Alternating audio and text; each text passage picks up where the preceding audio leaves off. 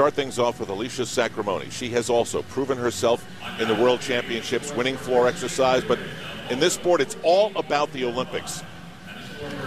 She actually had a shot, a very good shot, of being part of that 2014. Certainly had the ability, a tremendous athlete, but just wasn't time. Her coach, Mihai Brestyan, said it was like a tsunami. Everything just came a little bit too fast.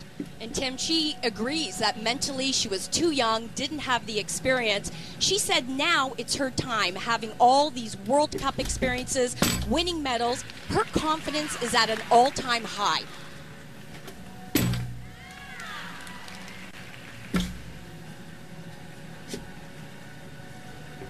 She truly is a powerhouse, though. Three events beam, floor, vault. She's world class.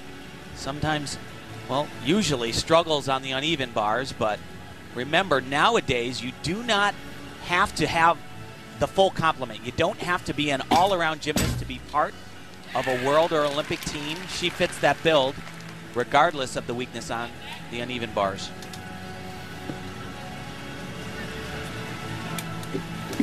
And you'll notice her style on balance beam. She's very sure of herself, very aggressive. Her leaps, her acrobatic skills, they're very difficult, very high.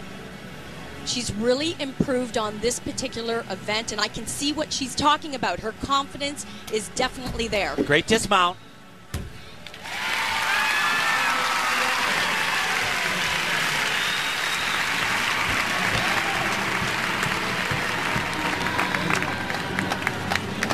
There with her coach, Mihai Brestyan. And for those of you who have forgotten, the 10 0 is gone. So we're going to see a bizarre number somewhere in